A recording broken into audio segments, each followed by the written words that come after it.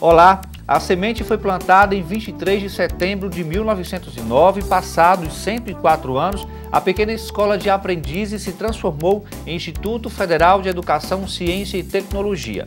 O IFRN Centenário fomentou e acompanhou o desenvolvimento do Rio Grande do Norte e sempre moderno, se prepara para mais desafios com a abertura de três novos campi no estado. No programa Com a Palavra Educação deste mês, nosso convidado é o professor Belchior de Oliveira Rocha, reitor do IFRN. Ele vai falar sobre as conquistas e os planos do Instituto para os próximos anos e eu espero você.